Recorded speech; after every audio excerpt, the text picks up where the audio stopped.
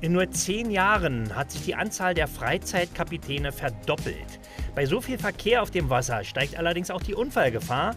Deshalb ist es wichtig zu wissen, welche Verkehrsregeln gelten und was darf ich überhaupt auf dem Wasser.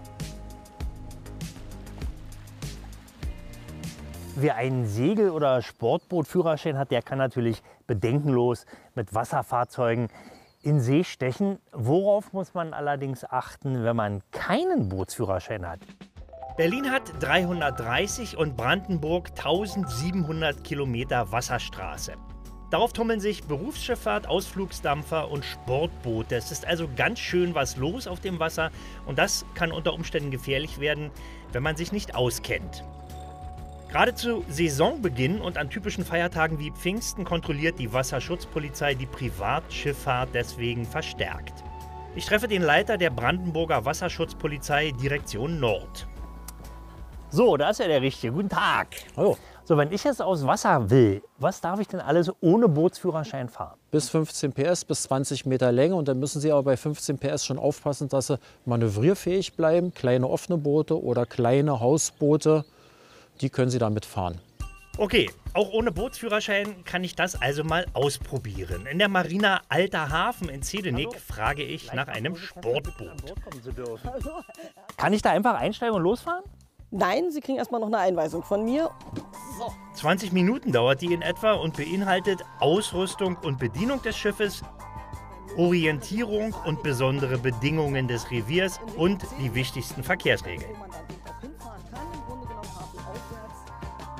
Alles, was rot an Schildern sind, sind immer Verbots- und Hinweisschilder. Sprich zum Beispiel, wichtigste Zeichen für mich hier auf der Havel, immer Sog- und Wellenschlag vermeiden.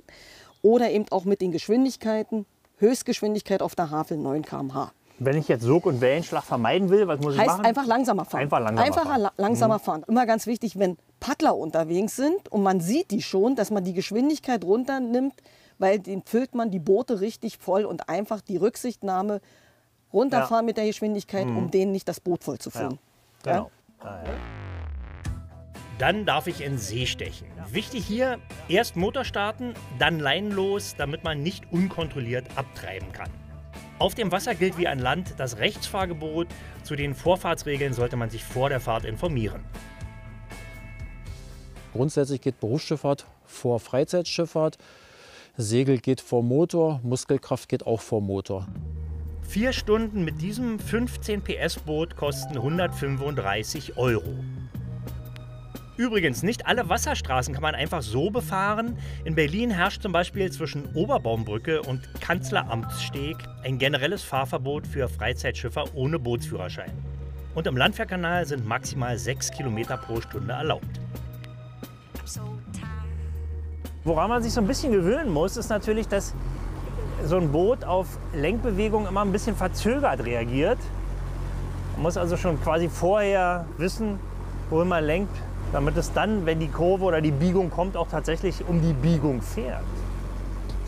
Das kann für Ungeübte ein Problem werden, gerade weil es in den letzten Jahren immer voller wurde auf dem Wasser. Aber keine Panik, die Unfallzahlen sind annähernd konstant.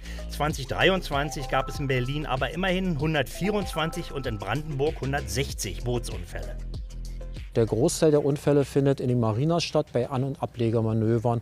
Und das bleibt zumeist beim kleinen Sachschaden. 2000 Euro ist meistens die Obergrenze, also richtige Totalausfälle oder Totalschaden haben wir so gut wie nie. Wir hatten letztes Jahr zwei Fälle, da sind die Leute leicht verletzt worden, aber sind auch nicht ins Krankenhaus gekommen. Ein Problem sind laut Polizei auch zu schnelle Sportboote. Deshalb gibt es regelmäßig Geschwindigkeitskontrollen. Also Vorsicht, ab einem Kilometer zu viel kostet es bereits Geld. Das wird schnell richtig teuer. Fährt man zum Beispiel 6 Kilometer pro Stunde zu schnell, können bis zu 150 Euro fällig werden. Was tatsächlich auch immer wieder zu Beschwerden führt, ist das laute Verhalten an Bord. Wenn ich denke, Anker, muss ich darauf achten, dass ich außerhalb der Fahrrinne bin, dass ich das Boot beleuchte und dass ich dann nicht endlos Party mache. Wenn ich jetzt mir so ein schönes Partyfloß ausgeliehen habe oder ein Hausboot und dann eine kleine Beatbox aufstelle, das hört man noch drei Kilometer weiter. Und wo gefeiert wird, wird auch meist getrunken. Auf dem Wasser gilt übrigens das Gleiche wie auch im Straßenverkehr. Ab 0,3 Promille kann es, wenn es zu einem Unfall kommt, schon problematisch werden. Spätestens bei 0,5 Promille ist man ordnungswidrig unterwegs. Und deswegen sollte man äh, das eiskalte Bierchen, auf das man sich freut, erst dann einnehmen, wenn man am Hafen sicher verteut liegt. Wer es mit dem Alkohol richtig übertreibt, wird hart bestraft. Der Motorbootfahrer beginnt ab 1,1 Promille eine Straftat, dann ist der Sportbootführerschein weg, beziehungsweise kann auch der Richter als Nebenstrafe den Entzug des Landführerscheins ebenso anordnen. Völlig nüchtern staune ich derweil, was man alles ohne Führerschein sonst noch fahren darf. Stolze Yachten mit mehr als 100 PS, Kostenpunkt ca. 650.000 Euro. Miete pro Woche je nach Modell und Saison 1700 bis 3900 Euro. Sechs Personen können hier bequem übernachten, es fehlt eigentlich an nichts. Allerdings ist daran eine Bedingung geknüpft, der Charterschein. Matthias Kalmutzke vermietet Luxusjachten und weiß genau, worauf es ankommt. Der Charterschein umfasst im Endeffekt die Position, wie man sich hier auf dem Wasser verhalten hat, ja? wie man äh, schleust. Wir üben das Schleusen, wir üben das An- und Ablegen, wir fahren längere Zeit mit dem Schiff, wir üben auch das Ankern. Ja, man bekommt Knoten erklärt, die man halt braucht. Ja, nur nicht zu viel, dann vergessen viele das was und können es nicht mehr einordnen. Ja. Das sind so die wesentlichen Sachen. Und bei der Fahrpraxis wird halt Wert darauf gelegt, dass man das so beherrscht, das Schiff, dass man es auch heil wieder zurückbringt. Rund drei Stunden dauert das Ganze und der Schein gilt nur für den jeweiligen Urlaub, muss also bei jeder neuen Schiffsmiete neu abgeschlossen werden. Und wie fährt sich nun so eine große Yacht? Das probiere ich natürlich aus. Das Boot fährt trotz der hohen Leistung, bedingt durch seine Größe, maximal auch nur 12 Kilometer pro Stunde.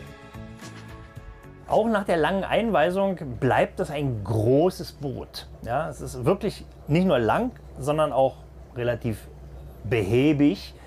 Also von sportlichen Lenk- oder Steuerradreaktionen kann man hier keineswegs sprechen, sondern hier geht es tatsächlich um Ruhe. Ja, es wird auf jeden Fall ähm, eine gewisse Übung erforderlich sein, bis man mit so einem Ding dann auch wirklich sicher unterwegs ist.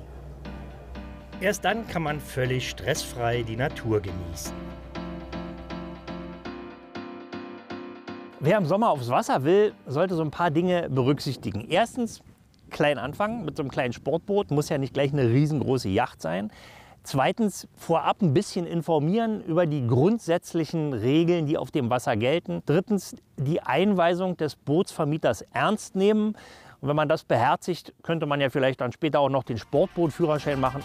Und eins steht jedenfalls fest, es macht einen Riesenspaß, auf dem Wasser unterwegs zu sein und das natürlich vor allem sicher.